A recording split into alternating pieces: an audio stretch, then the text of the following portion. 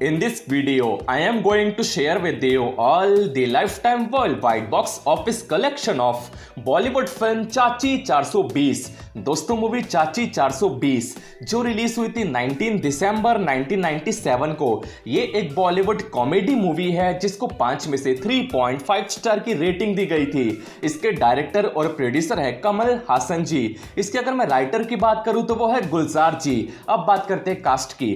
Film के अंदर कमल हासन जी तब्बू, अमरीश पुरी, ओम पुरी, परेश रावल, फातिमा सना शेख, आयशा जुल्का, नसर और साथ इसमें नज़र आए थे जॉनी वॉकर। ये सब इसमें लीड रोल में और सपोर्टिंग रोल में नज़र आए थे।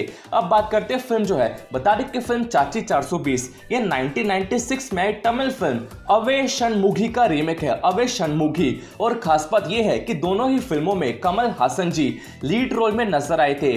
और फ़िल्म चाची 420 जिसके डायरेक्टर है कमल हासन जी, ये कमल हासन हासन की ऐसा डायरेक्टर डेब्यूट फ़िल्म थी, यानी कि पहली फ़िल्म थी। अब बात करते हैं बेसिक स्टोरी की। तो फ़िल्म में कमल, हासन और तब्बू दोनों एक दूसरे से बहुत प्यार तो नहीं करते, लेकिन दोनों के बीच, दोनों हस्बैंड वाइफ होते हैं, लेकिन दोनों के झगड़े की वजह से दोनों के बीच डाइवोर्स का केस चलता है। अब इनकी एक बेटी भी होती है, बेटी जो होती है फातिमा सना शेख। लेकिन बेटी नहीं चाहते कि उनके मम्मी पापा अलग हो, यानी कि मम्मी पापा का डाइवोर्स हो, ऐसा बेटी नहीं चाहती। वो चाहती है कि दोनों साथ में रहे, यानी कि तीनों साथ में रहे, माँ, बेटी, पाप। तीनों साथ में रहे। अब ऐसे में क्या होता है, जो इन दोनों के झगड़े की वजह से, जो इनका डिवोर्स का केस चलता है तो ऐसे में इस केस के चलते इन सबको अलग अलग घर में रहना पड़ता है। यानी कि तब्बू अपनी बेटी के साथ अलग घर में रहती है और कमल हसन अलग घर में अकेले रहते हैं। अब ऐसे में कमल हसन, जो अपनी बेटी से मिलने के लिए बहुत ज़्यादा तड़पते हैं, लेकिन तब्बू कमल हसन को उनकी बेटी से मिलने नहीं देती। अब ऐसे में क्या होता है, कमल हसन, जिनको एक मौका चाहिए होता है अपनी बेटी से मिलने का।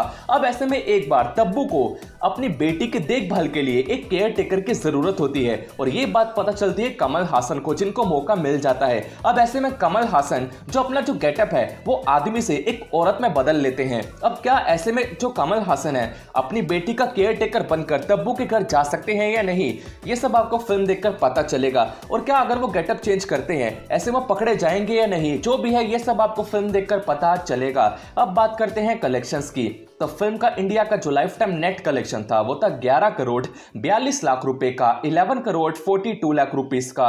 इंडिया का लाइफ टाइम जो ग्रॉस कलेक्शन था ग्रॉस कलेक्शन जिसमें टैक्स इंक्लूड हो जाता है, वो है 19 करोड़ 58 लाख रुपीस का। इंडिया से बाहर ओवरसीज मार्केट में 50 लाख 50 लाख रुपीस की कलेक्शन की थी और सब कुछ इंक्लूड करके फ़िल्म का लाइफ टाइम वर्ल्ड वाइड जो टोटल ग्रॉस कलेक्शन था, वो था 20 करोड़ आठ लाख रुपए का 20 करोड़ एट लाख का। रही बात बजट बजट तो इसका बजट था साढ़े चार करोड़ का। फोर करोड़ फिफ्टी लाख के बजट के हिसाब से फ़िल्म का जो इंडिया का लाइफ टाइम नेट कलेक्शन था eleven crore forty two lakh का। उस हिसाब से अगर हम वर्डिट की बात करें, यानी कि हिट और फ्लॉप की तो आपको बता दें कि फ़िल्म चाची 420 बॉक्स ऑफ़िस पर ब्लॉकबस्टर साबित हुई थी। फ़िल्म की ऑफिशियल वर्डिट है वर्ल्ड वाइड ब्लॉकबस्टर की। और बता दें कि फ़िल्म के गानों की बात करें तो गानों की एल्बम में टोटल पाँच गाने थे।